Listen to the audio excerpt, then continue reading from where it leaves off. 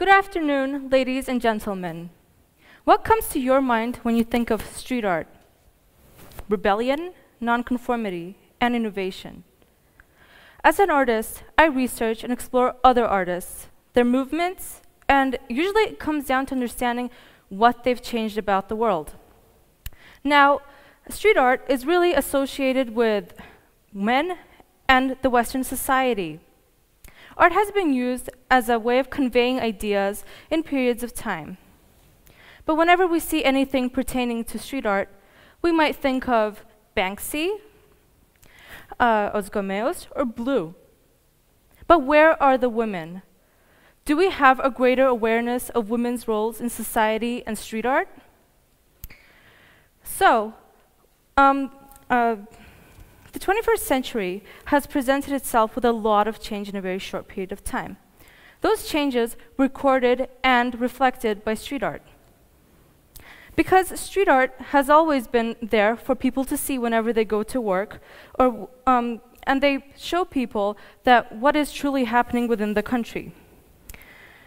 The, um, one of the really bigger events that happened in the, um, the, in the 21st century is the Arab Spring. The Arab Spring was on the news, the media, newspapers, and the radio.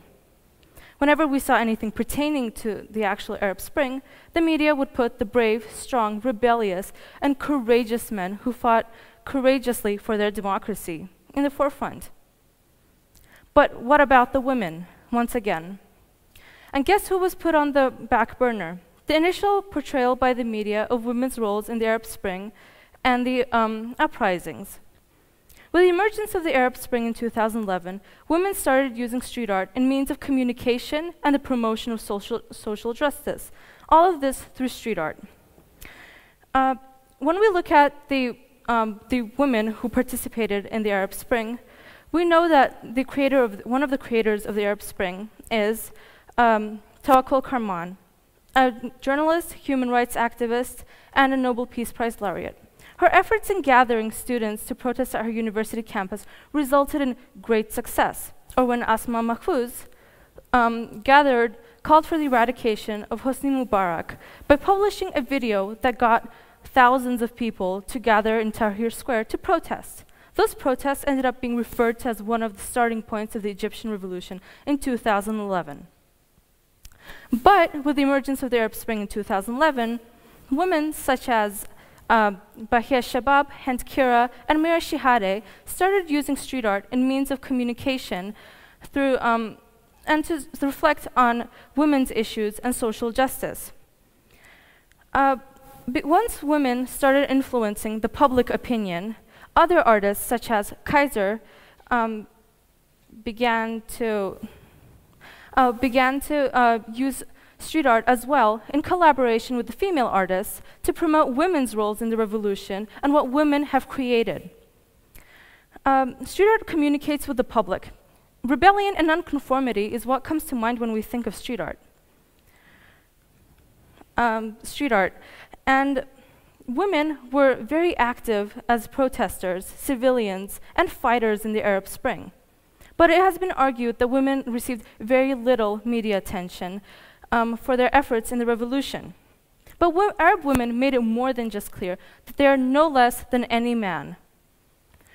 Uh, once women started actually influencing the public opinion a bit more, to the point where they started creating their own things and people started to see it more, other male artists began to work together with them once again, but, in this, but this time more collaboratively, co collaboratively rather than working for them. Because women must create for themselves.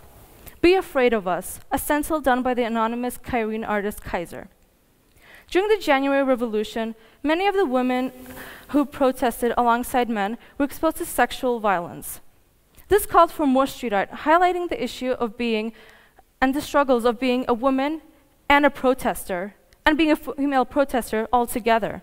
Because women um, got very little coverage for everything they did. Because the media doesn't put all the women who were targeted, who were beaten, and who were stripped.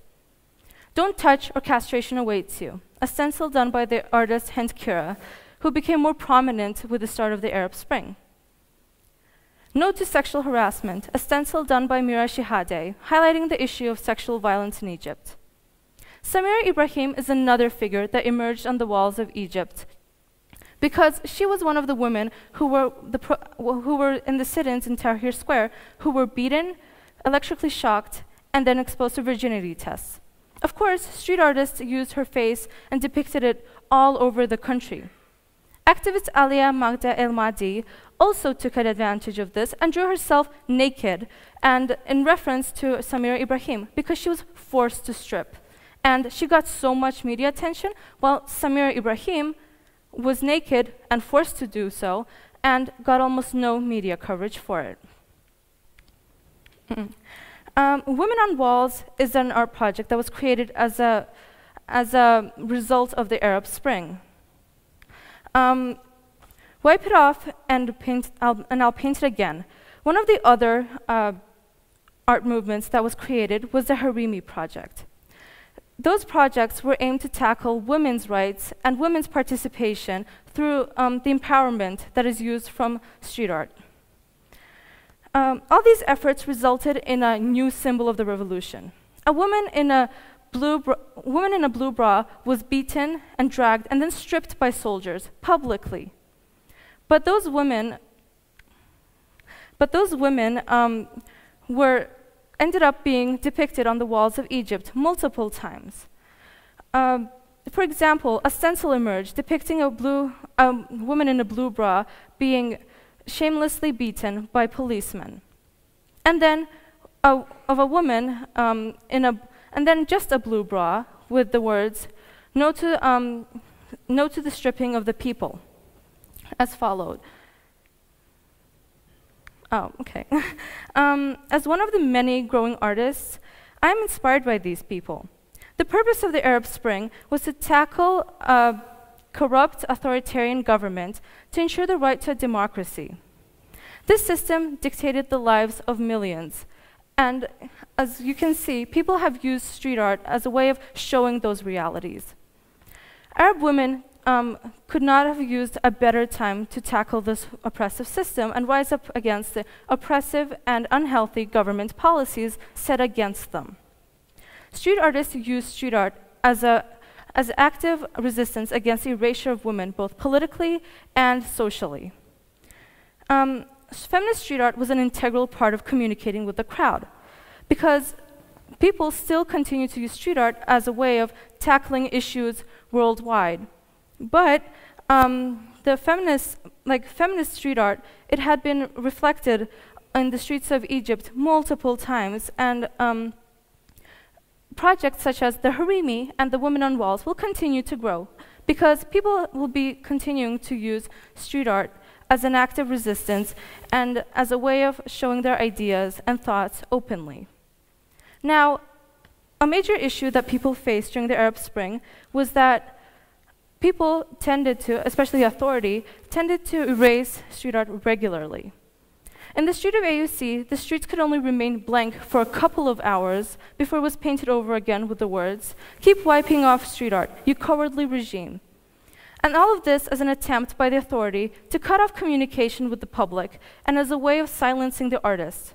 By the erasure and the eradication of artistic movement, Arti um, authorities attempted to stop people from showing their true thoughts and opinions, which goes against the very aim of the Arab Spring, to make your voices be heard. You can step on the flowers all you want, but you can never delay the spring. And during the Rolling Stone interview with the artist Hend Kheera that I mentioned before in my speech, she had also mentioned that her art was prone to cover ups and erasure regularly. This was a serious problem as women just begun influencing the public opinion.